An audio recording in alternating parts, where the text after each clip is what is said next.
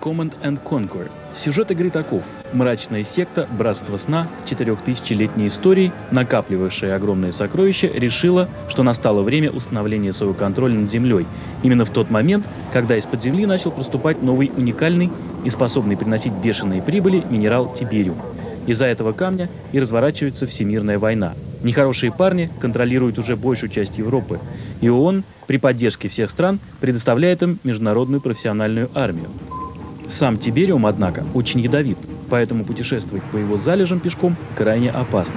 Вся игра представляет из себя, как следовало ожидать, последовательность миссий. Интересно, что их очередность может несколько раз меняться в зависимости от того, какой стратегический план освобождения Европы проводится в жизнь. Дело в том, что после прохождения очередной миссии на контурной карте показывается изменившееся соотношение сил, и вам предлагается выбрать новое направление атаки из одного или трех возможных, как, например, в игре Дюна 2. Command and Conquer – игра, имеющая много продолжений, и в следующих выпусках программы мы расскажем о них.